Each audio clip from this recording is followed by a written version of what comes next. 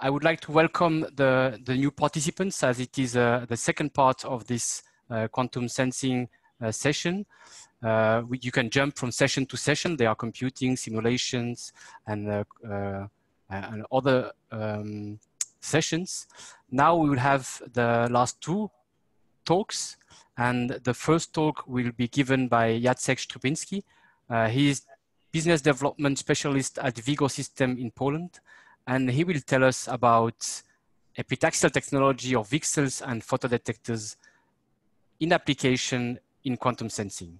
So Jacek, the floor is yours. Thank you. Uh, thank you very much. Let me share my screen. Okay, um, so thank you for the introduction. I would like to share with you some insights on the epitaxy technology um, and its impact on VCSELs and photodetectors, uh, which can be used in quantum sensing and uh, in general as quantum devices. So uh, the agenda for my uh, presentation, sorry. Um, the, the presentation will be in two parts. So the first part, uh, the first part would be um, just a brief introduction to our company. I want to share who you are, who we are and what we do, and to the epitaxial technology in general. And the second part would be the main part. So about the VCSELs and their application in quantum sensing. I would also want to say a few words about quantum photodetectors as our quantum devices. And then uh, I will also talk in general how the epitaxy impacts those devices and therefore quantum sensing. So as I said, um, a brief introduction to our company. Vigo System is uh, world's leading company in the uh, very high-tech uncooled photodetectors, specifically for the mid and long wavelength uh, in infrared um, range, and for a, a variety of applications. Uh, this technology has been developed for over 30 years and um, it has been improved ever since and that's why um, it's uh, it has a lot of applications, and the technology is really powerful, can be used to uh, make many things happen. About the epitaxy division, uh, which I'm involved in, um, Vigo has currently, let's say, two product lines. So the first one, the main one, is the production of photodetectors. Um, though this product line starts with the epi wafers made on MBE and MOCVD26. Then uh, there is this device manufacturing side where the photodetectors are made and there are also modules which are assembled at a Vigo facility. And this second, um, let's say, activity is the epitaxy division. So we are manufacturing the III-V epi wafers. Those are related to gallium arsenide and indium phosphide. And those have a variety of applications as well in photonics and microelectronics, uh, not only in photodetectors, but uh, many, many more. So um, epitaxy technology uh, in overall, um, just to explain you, uh, yeah, just to explain more what it's all about. So this is our reactor. Is a 3D animation of it. Uh, we use the G4 Aixtron reactor we place the substrates on those satellites uh, into the reactor. Everything is then heated and process gases are injected, as it will be shown in a second. And uh, then the actual epitaxy process uh, occurs um, and uh, on those wafers or on those substrates um, uh, there will be layers formed. Um, and it's all about creating those layers in a really high precision way to make sure the epi wafer has the high uniformity. And yeah, that's why, that's how the layers are created. And then, for example, you can have a VCSEL structure. So that's um, um, DBR bottom and top and in between the active region. Uh, I will uh, talk about this more in the next slides. Okay, let me change my pointer again. Oops. let's move to the next slide. So to um, just to give a bit more background about our profile, uh, we are doing the epi wafers, as I said. So we fit here in the whole value chain. Uh, we are doing them on the substrates. And from those epi wafers, the dices on the viewers I made, then the chips, which, were, which are assembled into later into the modules. Uh, Vigo in overall has a wider um, ability to produce also the components and modules. We are, as a Epitaxy division, we are focusing on epi wafers, and this is our uh, core technology. And in the next slides, uh, I will uh, show you the last part, how this exactly uh, impacts the, the, quantum sensing.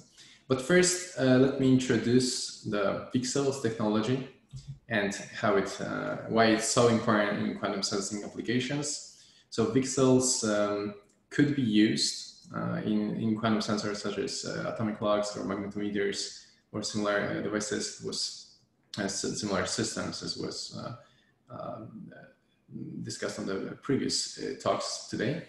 And for the light source, the VCSEL can be used. Um, this is one of the, the possibilities.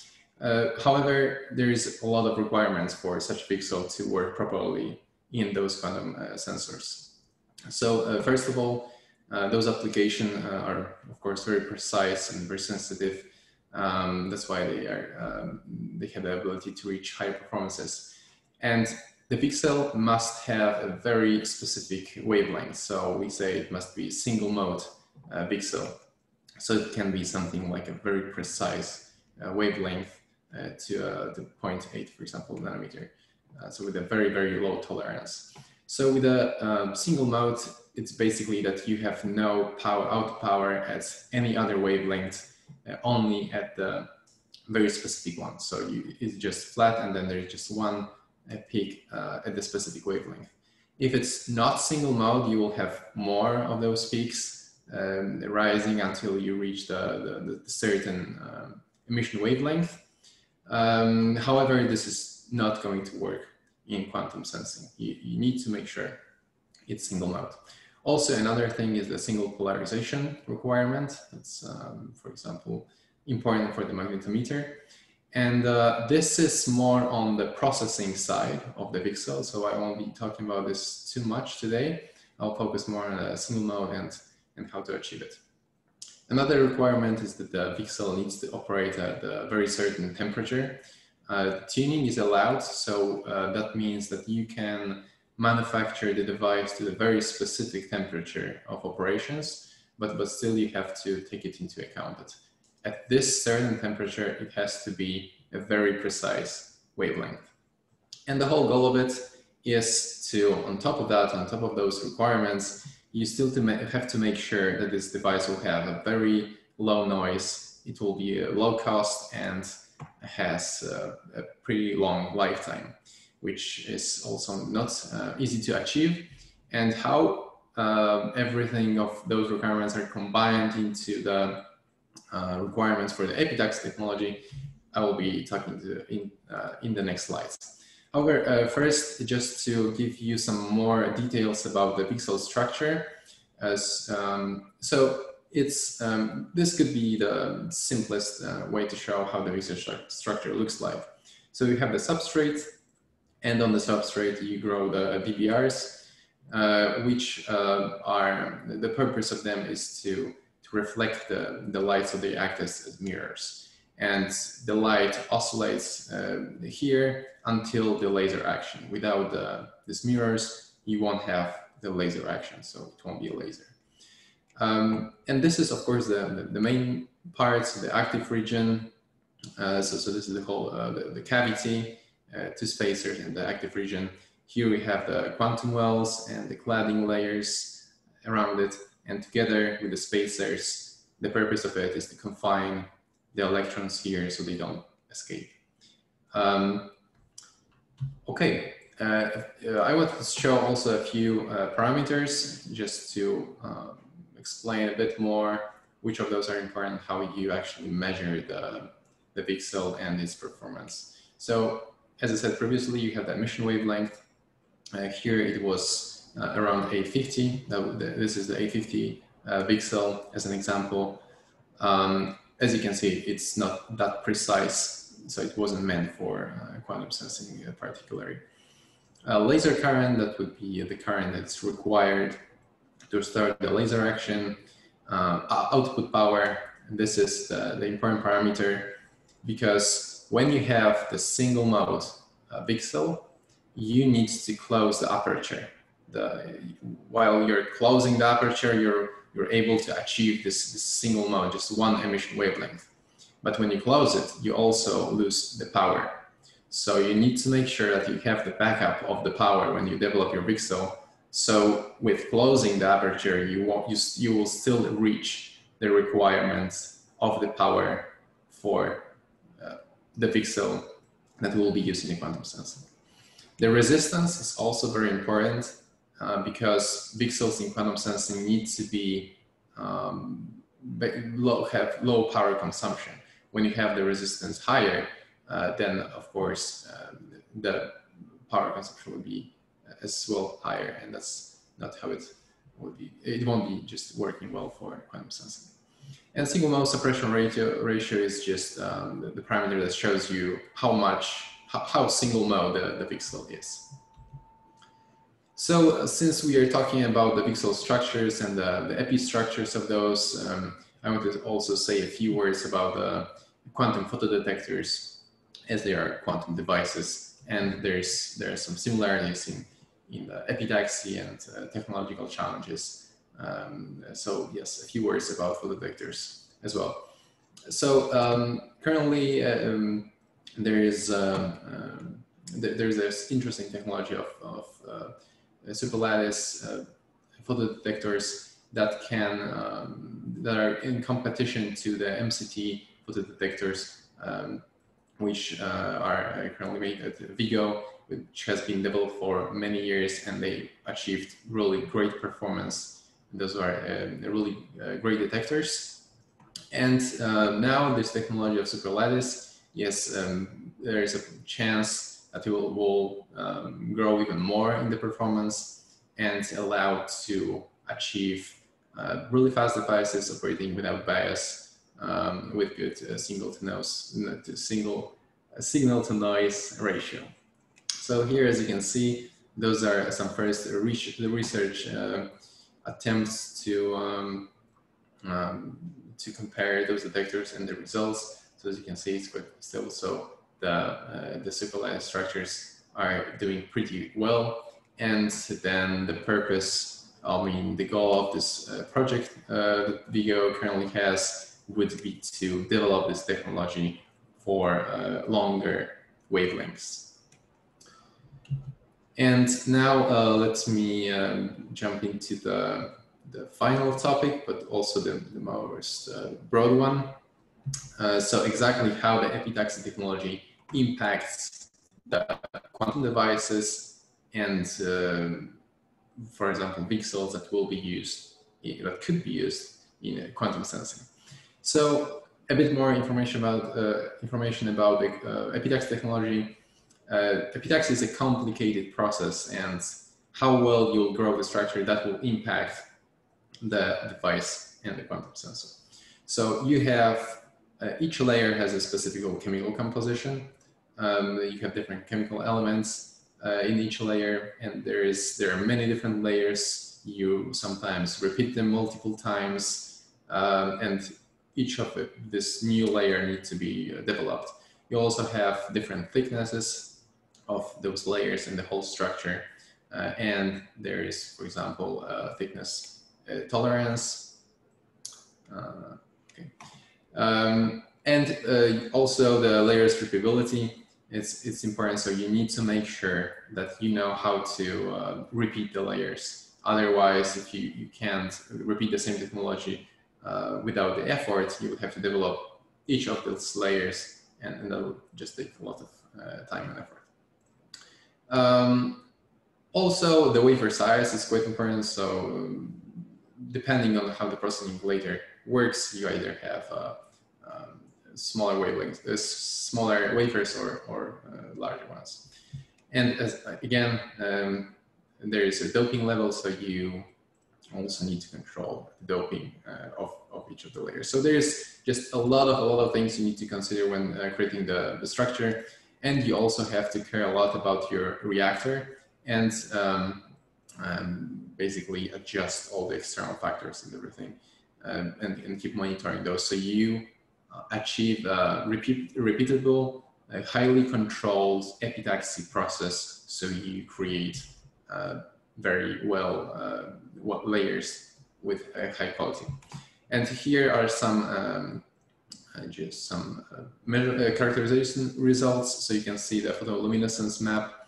Um, it simply means that the, the, the, uniformity around the whole wafer is the same. So you know that you can pick this point and you can pick this point and, and this point, and you'll have the, if you make VCSELs out of those points, you'll have the same VCSEL.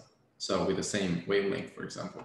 Uh, if you uh, if you don't do it, uh, if you have not uniform uh, wafer, you will never know um, how how this VCSEL what, what's the if the VCSEL would be similar. So you won't be able to achieve similar devices as as good. Um, this one, the optical optical microscopy image, is a very uh, simple one.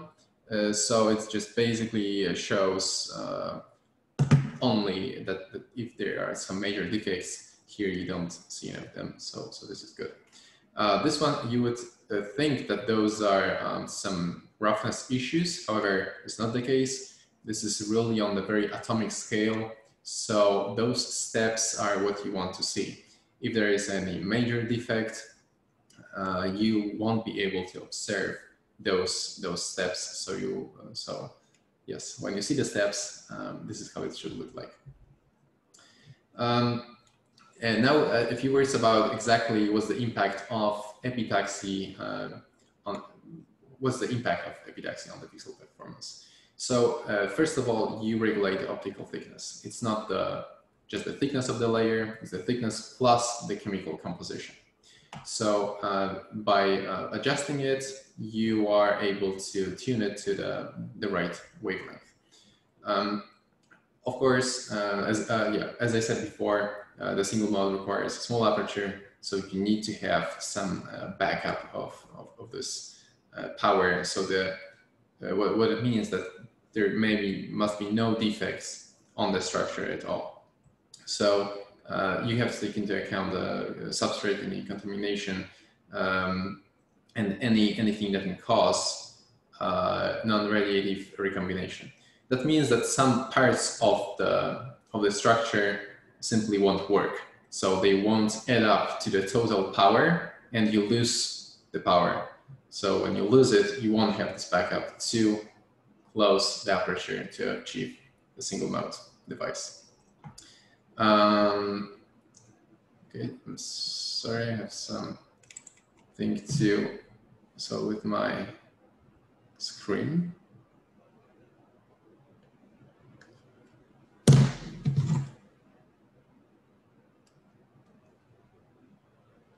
Okay, it works. And uh, yes, and uh, if the temperature is higher, then the wavelength is longer. Uh, so as I said before, for the quantum sensing complications, you have to have a specific wavelength at a specific temperature. So of course, you, you, we know how to do it, uh, but it has to be taken into account. And the most important thing uh, is that, well, it can be calculated, but there is no guarantee it will exactly work.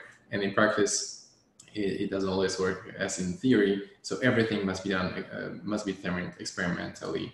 And you need to achieve the repeatability so you can um, achieve something experimentally and then repeat it to the next devices.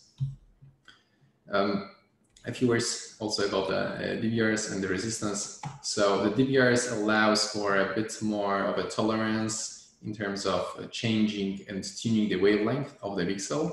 However, you still need to uh, have it at a very high quality. So you have this flat um, reflectance image here and just this one dip that shows the exact wavelength uh, you want to achieve. Uh, for the resistance, as I uh, said, this impacts, um, I mean, if the resistance is higher, you can have some uh, voltage drops like on the uh, in between the layers. So the solution for this is to develop the gradients between layers that avoid those voltage drops and you keep the resistance um, uh, low enough. Uh, but of course, this again, another technology development that you have to do. Other thing is the precise doping. Uh, you can uh, use carbon for it, but it's not something, it's never like this that you can use something that's uh, simply better than, than something else. If you use carbon, you have to do it again very precisely, or you will face some uh, surface defects that will impact the performance of your laser. Uh, here, um, one more of the images, I zoomed it in a bit too, so you can more clearly see. But here, um, all the layers are very, very, uh, uh, very similar at the very similar level. Uh, the distance between them are also uh, looks very, very close. And when one of those layers ends, one of those layers starts, and, and so on. So all uh, looks looks very, very clean. Uh, here, uh, apart from the dopings, you can also see the contamination coming from oxygen, uh, but this level of the contamination is good. So if you have something above it or there's um, some uh, not regularity here, you would get some some some spice, and, and that's uh, that's how it should look like. And this thing here is the active region and that's also change uh, shows the change in the thickness, the chemical composition, and so on. Uh, the actual VCSEL structure looks like this. So you have the, uh, this is simply the zoomed in version of this one. So here you have whole, the whole structure. Here is the, the active region, and you can see them in a, a zoomed in image here. Here is five of them. Here is just four because one is missing down here. And those are, are the quantum wells and in between the, the barriers. And um, going back to the photodetectors, again, uh, it's um, quantum photodetectors are quantum devices and they uh, work on, uh, on a similar way as the the, I mean, the epitaxy is uh, quite similar in terms of the challenges as for the VCSELs. So you can see here uh, that you have uh, also the, the quantum wells, and those are repeated uh, just hundreds of times.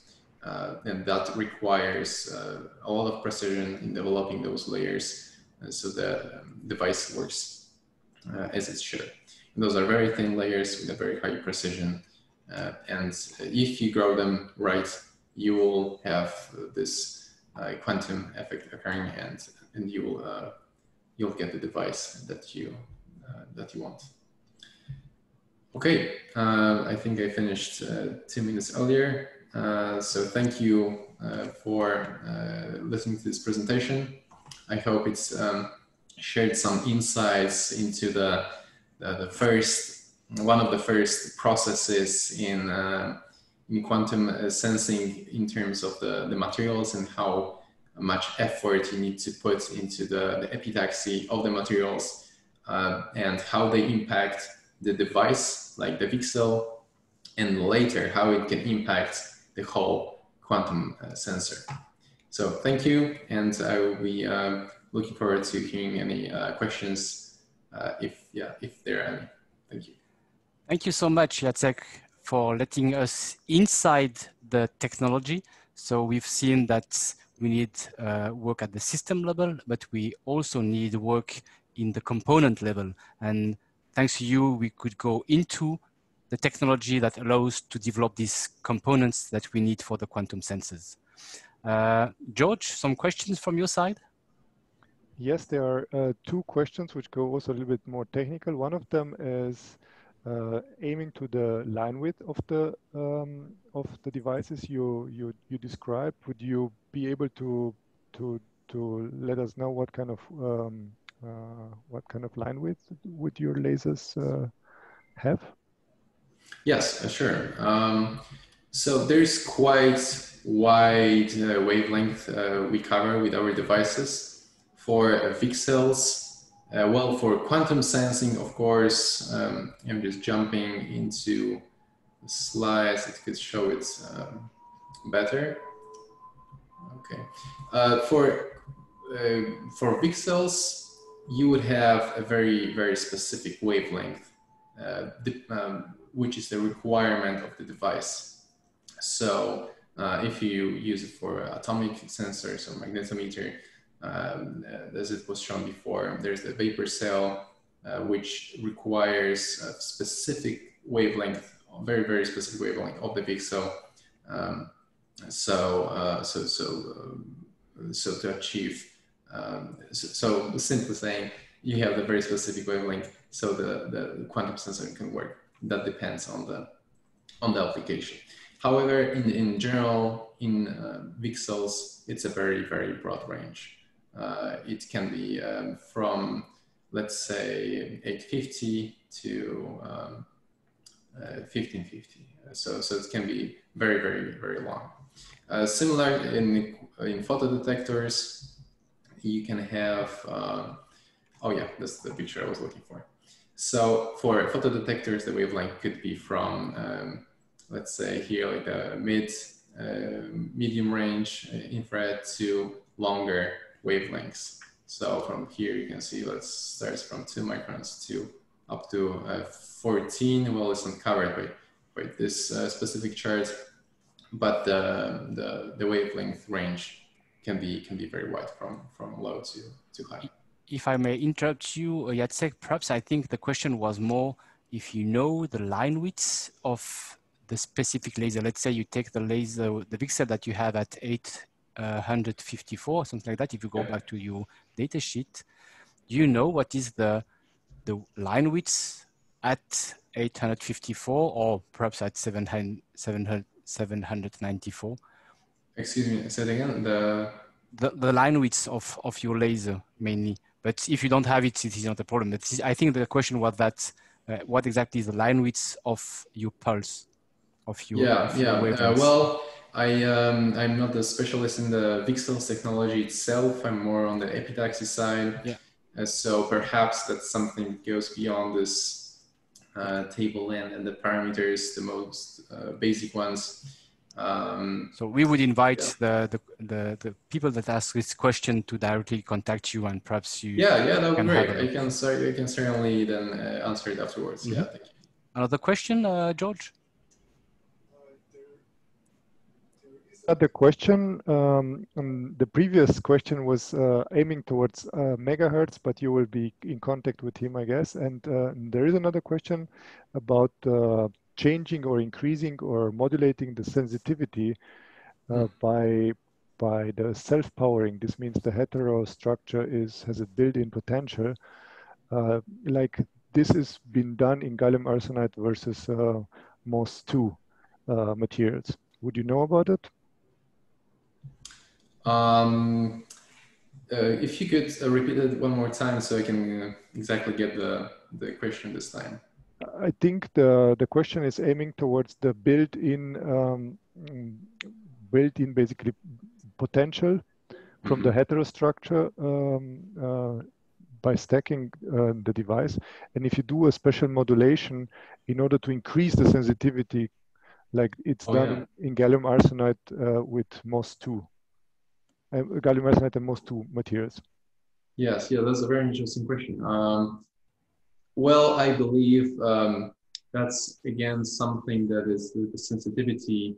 Um, that's again something that will be more on the processing side, and from the from the epitaxy, that's uh, what we are trying to do is to allow for uh, for the highest performance epi wafer so then there is a lot of possibility to work with it uh, in the processing side. So if you want to achieve a very sensitive device, um, then and whichever structure that is, uh, you, you, would still need the epi wafer to to be simply as um, as high performing as possible. Um, so again, I would just answer that on our side, what we do at the Dex division is we are trying to respond to many needs of what's been done with the photodetectors. or with VCSELs, um, simply trying to achieve uh, the highest highest performance structure. So thank you, Jacek, for, for, for your answers. Uh, I invite the, the people asking the question perhaps to contact you directly if they want to have more insight Sure. in your Oh, technology. okay. And we are just uh, wishing you all the best for having this product integrated in the future quantum devices. Thanks, Jacek. Thank you. Thank you. all. Thank, thanks a lot. So we are going now uh, to listen to our last speaker. So Félix Bussières from ID Quantique. So I do not have to present ID Quantique. Uh, they are so active in all this quantum uh, field that everybody knows them. So Felix is going to tell you about mastering photonics at the second single photon level. Felix, the floor is yours. Great. Thank you, Jacques. You can hear me? Very well, yes. Okay, excellent. So, hi everyone. I'm Felix from IDQ. I'm, I'm happy to be able to give this presentation to you this afternoon. Too bad we can't be all together, but uh, hopefully that's going to happen soon. Uh, QIDiS is great. Uh, you know, long, long life to it. Uh, really looking forward to uh, the next editions. And, and, and it's, it's, good, it's great to see all these uh, companies in the quantum sensors part uh, coming up.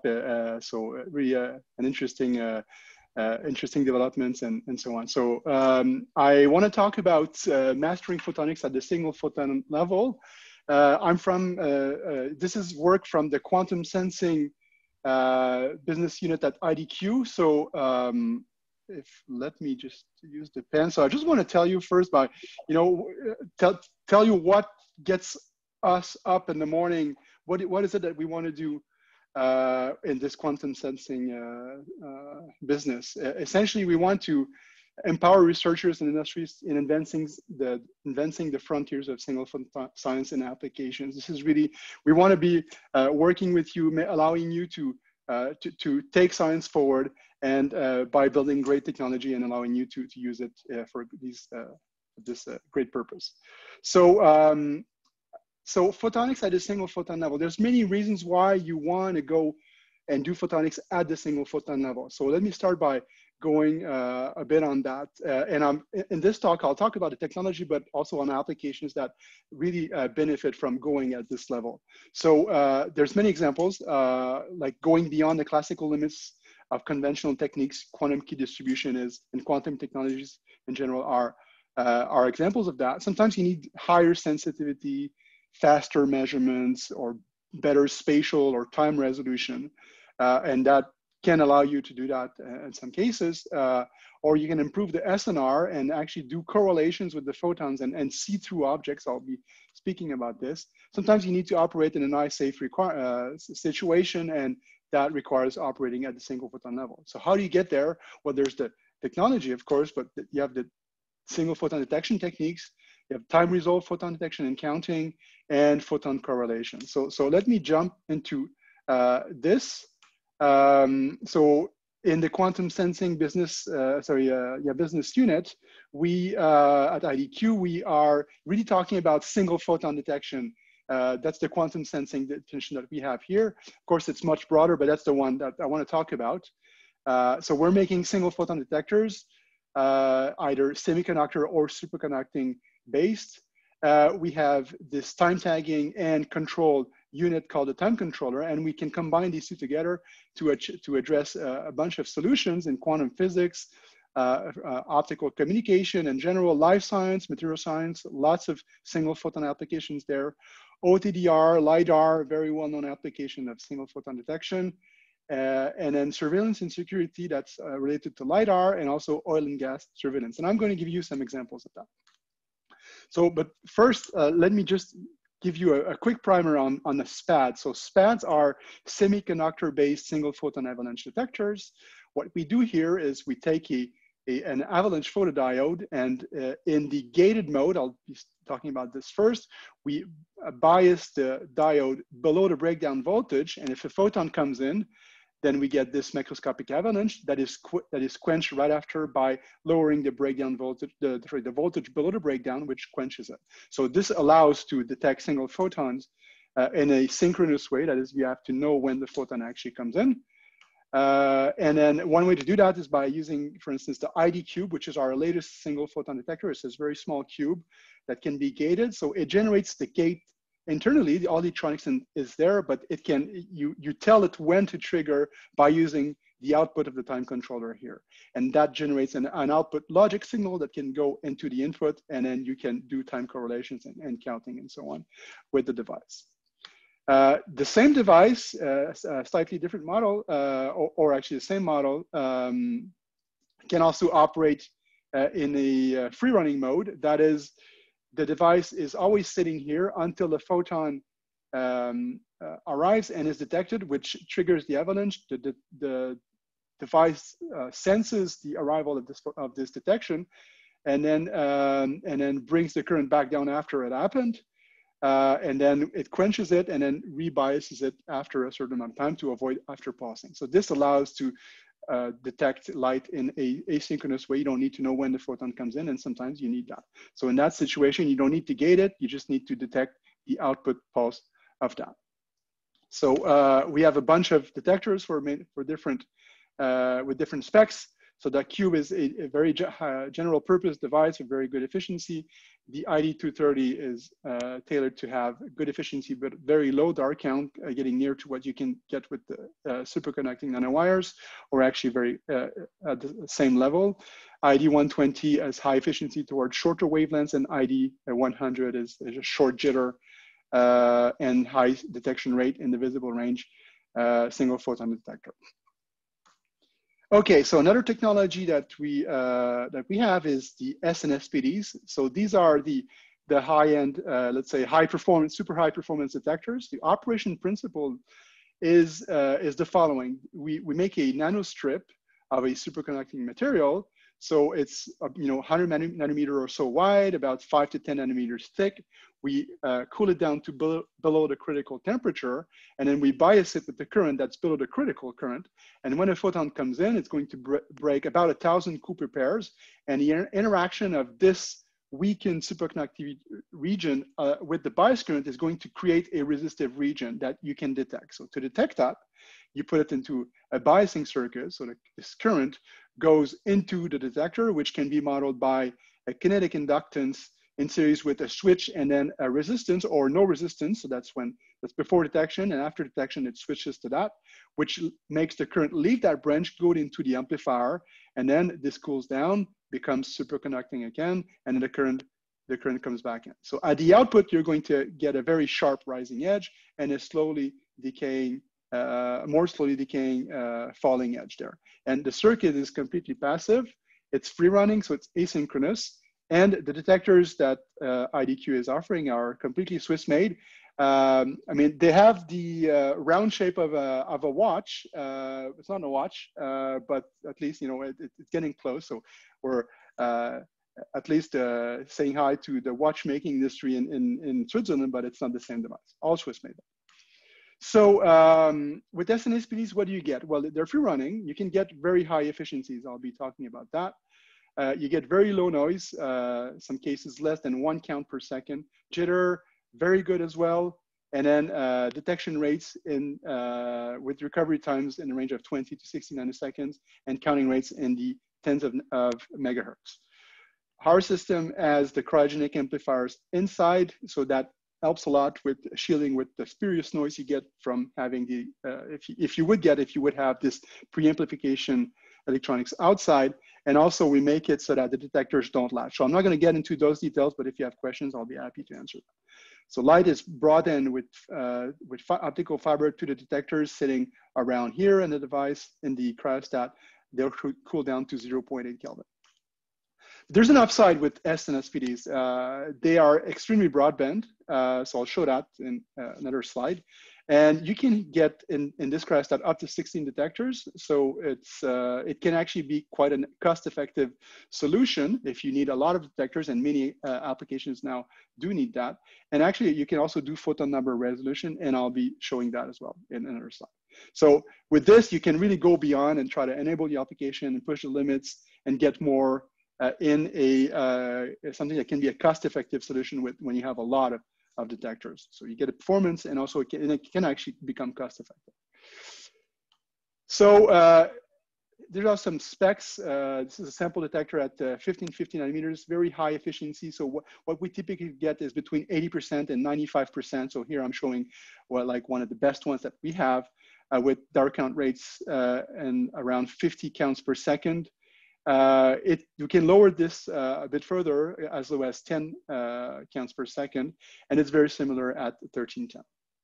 So another example here for a detector at 1064 nanometers, uh, again, very high efficiency in that case, around 80 to 95% or even more um, for this system detection efficiency.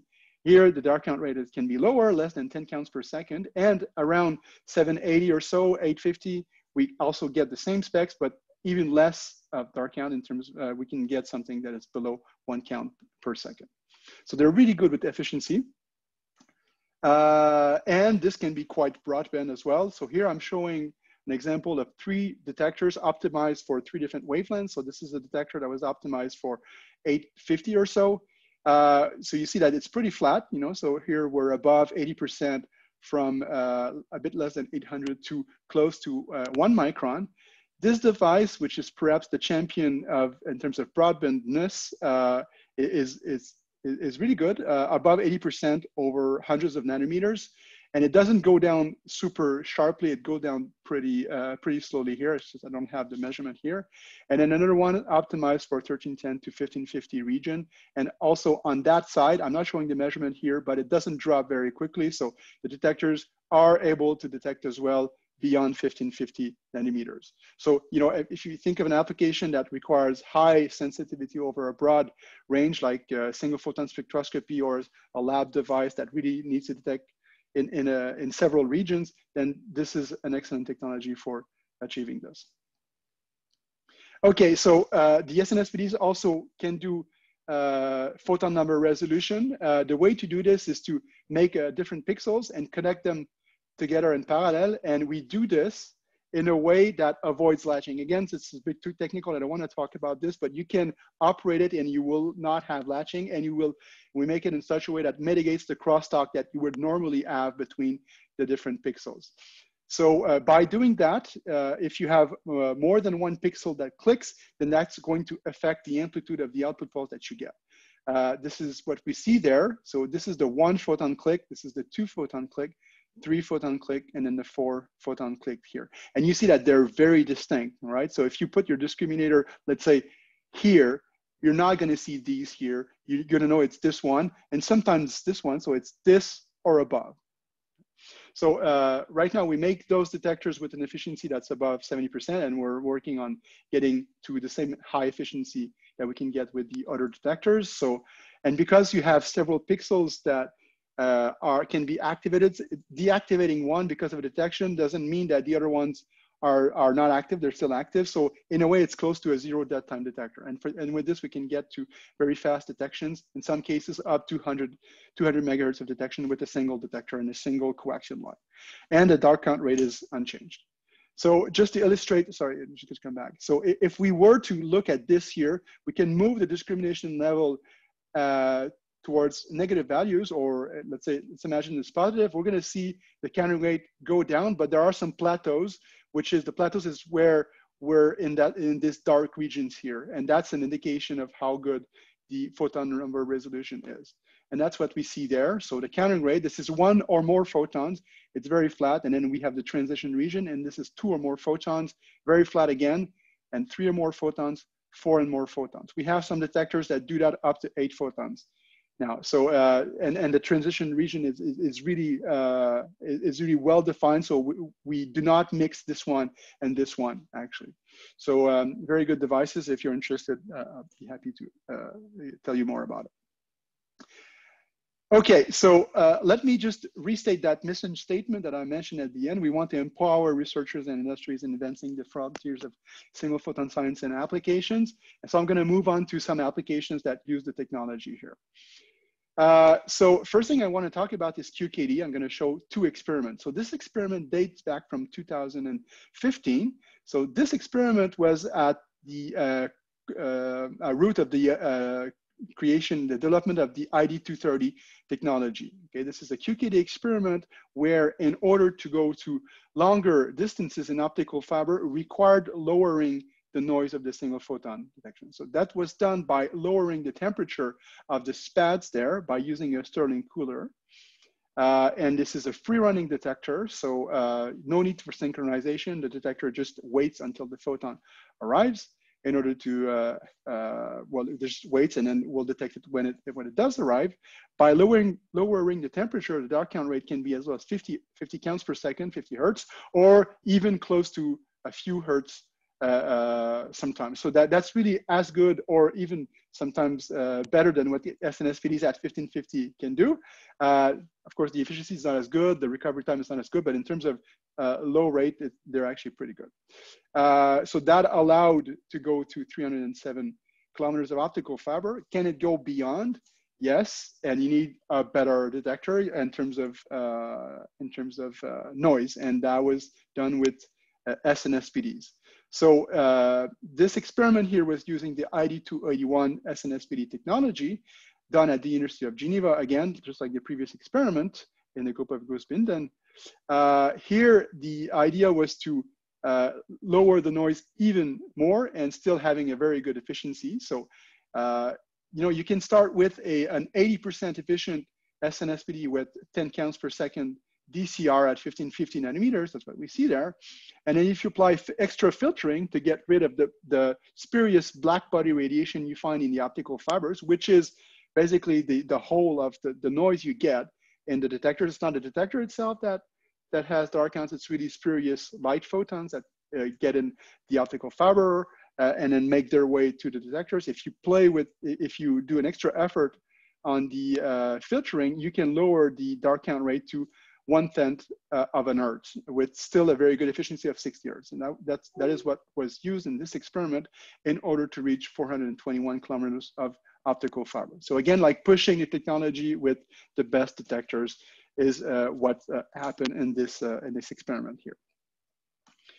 Okay, another experiment done at the University of Geneva. Uh, so uh, here, the, the goal was to use the ID281 technology and a time controller in order to look at an integrated source of photon pairs.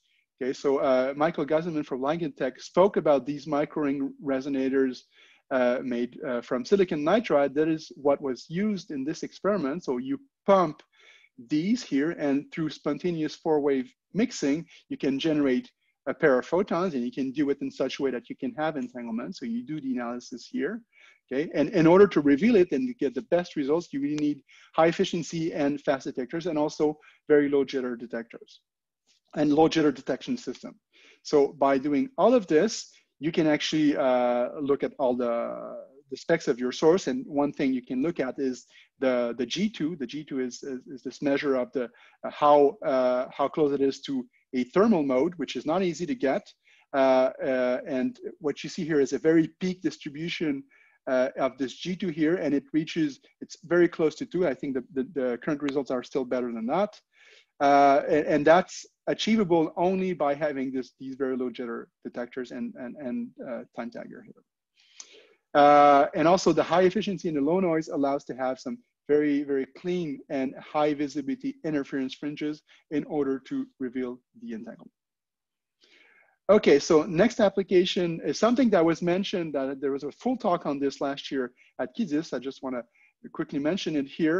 It's a very uh, industrial application. So we have worked with, uh, we are still working with uh, Ariane uh, Space uh, to help them uh, in a very difficult problem that they had and that we have solved with our technology. So they have moved here to optopyrotechnics in order to, to create the separation of the different stages uh, the different uh, yeah, stages uh, of their launcher, the Ariane 6 launcher, which is going to be launched next year.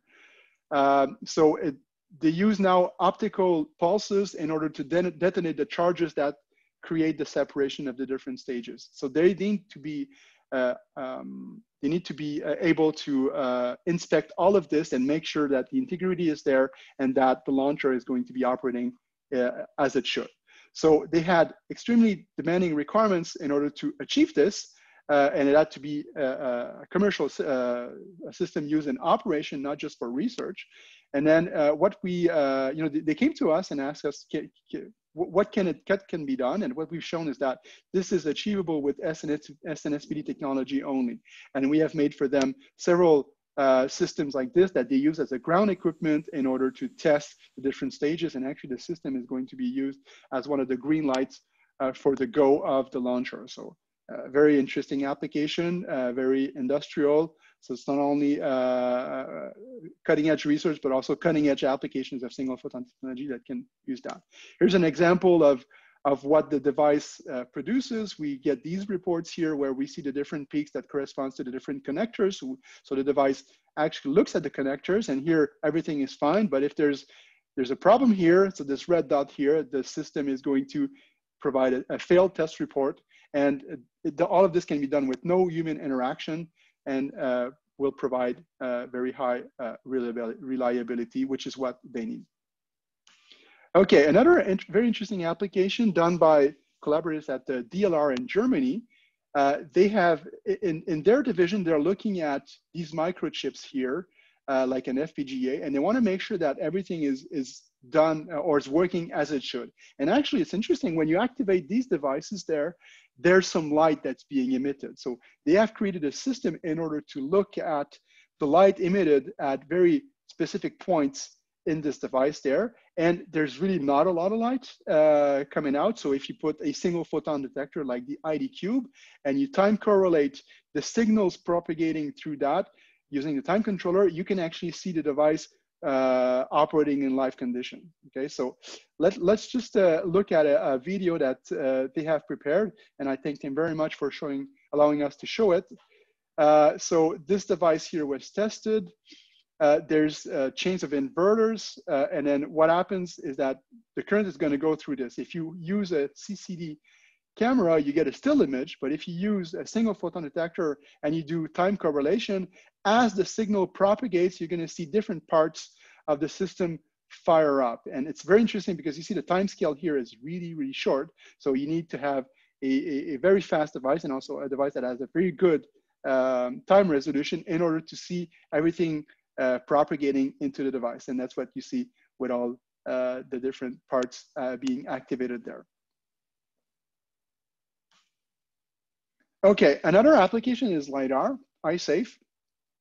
So we've been working on this um, and we have built a system, I'll tell you where it was used afterwards, but we built a system where we uh, emit a pulse uh, light at 1550. Uh, if it hits a hard target, light is gonna come back and by looking at all of this with an, an array of, of, uh, of APDs, of, of actually SPADs, and time correlating all of this using ID900 and the time at which the light uh, pulse was emitted, we can actually see where the hard target is uh, in space. We can uh, time range it. So the interesting thing is, if you do coincidence uh, detection between the different pixels of this array, uh, you can increase your signal to noise ratio. And, and, and it works like this. You know, if you have spurious lights from the background, like the sun, it's going to be, emitted at random times. So it's going to give you a uniform background. But if you have a bunch of photons hitting the hard target, they will make a couple of these detectors click simultaneously. You add everything up and you're going to see this peak that really stands out outside of the noise there. And if you put a threshold and you keep this and you ignore that, you can uh, increase your signal to noise ratio tremendously. So that's what we did with this device here. Uh, it works up to 500 meters and actually even more. And then um, this was done initially with a very fast, rapid prototyping with the uh, OEM version of the ID Cube, the time controller. And here were some tests that were, here are some tests that were done in foggy conditions in Bristol, uh, where this actually happens quite a lot. Uh, and then uh, what happens is that you can have a target that's behind fog. You still see it there, but in some situations you don't even see it. But because it's a diffuse target, you can use this uh, um, correlation trick in order to see the hard target, which is the three at, uh, at the longer distance here. So all of this was uh, ultimately put into a small box in collaboration with SK Telecom uh, with the OEM technology of the, the cube inside. And this was, this was demoed at CES uh, 2019 and, and 2020. Okay, so uh, last application I want to talk about quickly. I see that time is uh, is uh, getting close to the end. So uh, here you can use LiDAR plus wavelength scanning around a methane line in order to do gas imaging. And the idea is really to scan the wavelength of your laser, send pulses, correlate the time of arrival uh, uh, as well with the uh, wavelength at the uh, emission. And you can scan a reference cell and you can look at what's coming back uh, from, from the light that you have sent. And by doing that, you can also scan position and combine all of this. This is what uh, QLM in, uh, in Bristol did. Uh, they made the system and the measurements and they used our IDCube uh, OEM technology in order to do some very interesting images. This is a plume of methane that was imaged uh, using this system. It's, it's really fast. It's actually faster than any uh, um, any um, IR, sorry, any uh, gas uh, imaging camera that you, that you find on the market right now. And it works at very long distances with very high sensitivity. It can also measure the concentration of the gas. So it's really like cutting edge, cutting edge technology uh, using single photon detection here. Okay, so let me come to the end. Uh, I mentioned that I want to tell you why you want to go to the single photon level. So uh, going beyond the classical limits and conventional, and conventional techniques. So QKD entanglement are ex examples of that. Highest sensitivity, faster measurement, OTDR, gas imaging, fluorescence measurement that I didn't talk about are examples of that as well. Better spatial time resolution, so IC inspection, OTDR, uh, LiDAR, and rangefinders uh, clearly demonstrate that. Improve SNR and see-through correlations exemplified by LiDAR, and then eye-safe requirements, LiDAR and, and rangefinders. Okay, so how do you get there? Well, you use the technology and the right techniques and use the, the power of single photons in order to, to get there. Okay, so if you want to know, uh, learn more, we have some webinars on IDQ's website. Please go uh, and, and have a look. Uh, I want to thank all of our collaborators. Uh, I want to thank you for your attention and I'll be happy to take questions. Thanks so much, Felix. Wow, how many applications you could show uh, using your products and amazing to see how electrons are flowing through the through the FPGA by looking at photons that are emitted. This is just crazy. Thank you so much. Um, I hope we have some questions, George. Yes, uh, thank you, Felix. It's a, it's a pleasure to see you in this driving seat for the single photon uh, sources from IDQ. Um, I can also see the history of things developing also from from your research. Um, you had also QStarter, and now you basically pitch a variety of industries. And I never saw also the FPGA in a in a in a basically in a in a live modus uh, sh uh, shooting electrons out. Uh, one question uh, and the combined question is the following. It comes from Daniel. Um, would be, what do you think is the most promising single photon source at the moment for industrial applications? So I guess he's aiming towards the, the spectrum of industries. Where do you think it's it's it's definitely there is nothing else what what can be used to do that?